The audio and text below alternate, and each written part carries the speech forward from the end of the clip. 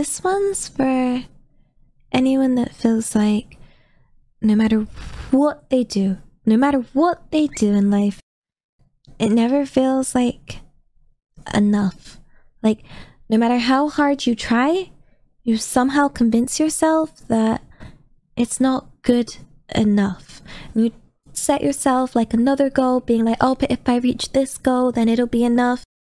But then you get to that goal and you're like, it's not enough. I need to set another goal. And you're just doing that over and over and over again to yourself. Um, this one's for anyone like that.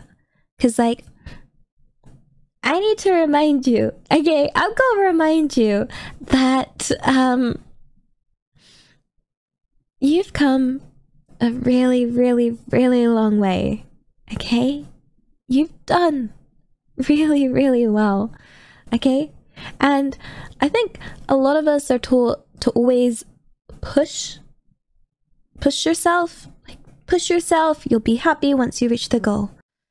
But if you just keep moving the goal and you just keep moving the goal and you justify moving the goal by comparing yourself to someone or something or whatever when when you when do you get to be happy let yourself enjoy the journey to the goal as well okay?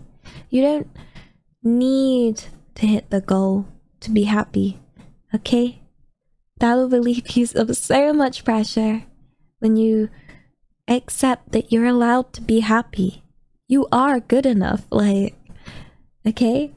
It's it's it's it's always good to like work towards goals but just don't forget to you know look after yourself and just remember that you're doing amazing you're amazing okay and you've gone so far and I'm proud of you.